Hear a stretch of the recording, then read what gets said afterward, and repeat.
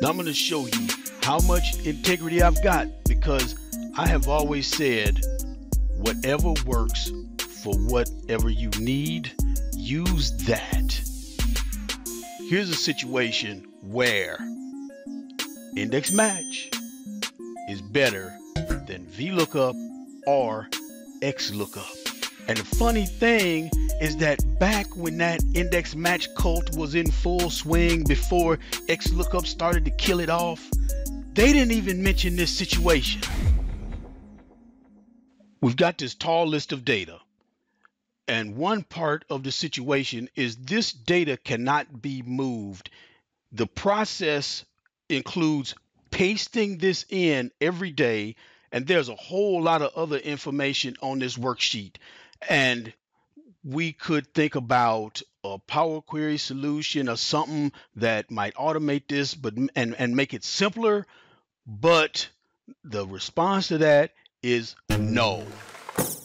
This is how we've done it, and this is how we're going to continue to do it. And see how this data is.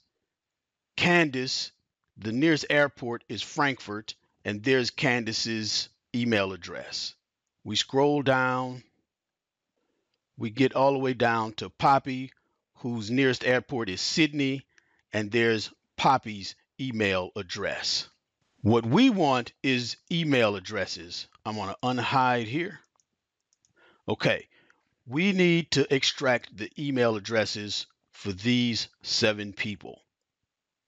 Here we go. Equals index. Open parentheses. What is the array?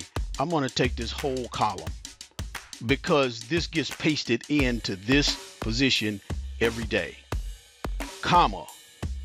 Row number. That's where we use match. Open parentheses. Look up Celia. Look for Celia where? In column B. Comma. Match type. The exact match. Zero. Close parentheses. And then close the index. Enter. There's Celia, but we want the email address. Go back in here. Go back to the formula. The email address is two rows down. We're going to go plus two. Enter.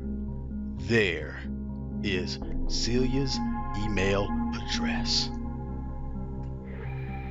Double click. Everybody's email address. Index match. Useful. Yes. VLOOKUP. No. XLOOKUP. No. Index match. The right tool for the right situation. See you in the next video.